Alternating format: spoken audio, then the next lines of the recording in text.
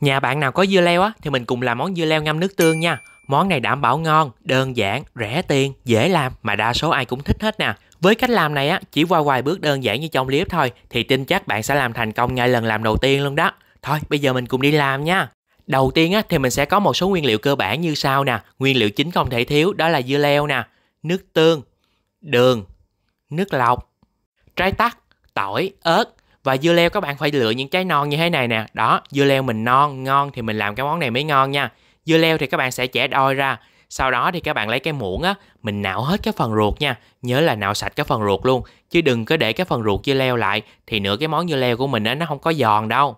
Mình có một ký dưa leo á, mình cứ chẻ đôi ra hết, sau đó mình nạo cái phần ruột sạch hết nha. Bây giờ thì các bạn sẽ cắt ra những miếng vừa ăn nhỏ nhỏ như thế này nè, mà đừng có nhỏ quá nha, tại vì nữa mình ngâm á nó hơi teo tớp lại á thì nó nhỏ xíu à. Sau khi mà mình cắt xong á thì bây giờ các bạn sẽ cho vào đó một muỗng muối nè, một muỗng đường.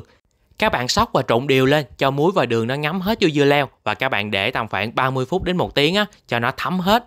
Trong lúc đó thì mình sẽ đi nấu cái phần nước ngâm gồm có nước lọc, nước tương, nước tắc, đường cái hỗn hợp này các bạn đun cho nó sôi lên nó tan đường ra hết nha.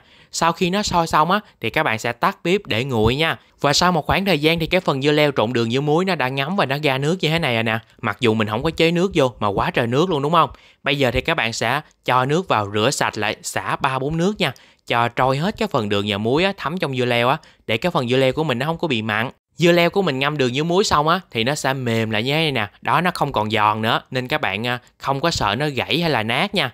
Sau khi mà xả xong qua nhiều lần nước rồi á, thì bây giờ mình sẽ vắt dưa leo cho nó ráo hết nước nha. Cái phần nước trong cái miếng dưa leo á, nó phải ra hết luôn, thì cái món dưa leo ngâm nước tương của mình nữa nó mới giòn. Đó, các bạn cố gắng tích cực mà vắt nha. Mà nhà bạn nào có cái miếng khăn lược hay là miếng vải mùng á, mình cho vào đó mình vắt, nó cũng nhẹ tay lắm sau một khoảng thời gian vắt tích cực thì cũng xong rồi nè. Bây giờ mình sẽ tiến hành đi ngâm dưa leo nha. Mình cho cái phần dưa leo này vào cái hộp sạch này các bạn. Tiếp theo thì cho cái phần tỏi ớt băm nhuyễn á, cho vào luôn.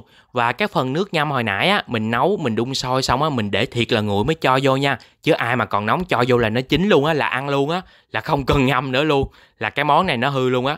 Sau đó thì mình sẽ đậy nắp lại, mình chờ tầm khoảng 1 đến 2 ngày là có thể ăn được rồi đó. Và đây là cái hộp dưa leo ngâm nước tương, thành phẩm của Hùng sau 2 ngày nè. Khi mà các bạn dở nắp ra ta nói nó thơm cái mùi đặc trưng dữ lắm luôn. Cái miếng dưa leo nó bóng mà nó vàng ươm à, nhìn đã mắt dễ sợ luôn á. Các bạn chỉ cần nhìn thôi là muốn lấy cái tay bóc ăn liền luôn vậy đó. Cái dưa leo ngâm nước tương này nè, ngâm xong nó rất là giòn luôn nha. Mọi người nghe cái tiếng giòn nè.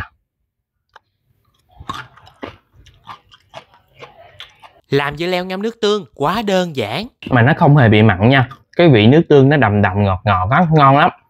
Cái này mọi người có thể ăn chung với cơm trắng hoặc là cháo trắng á, rất là ngon luôn á.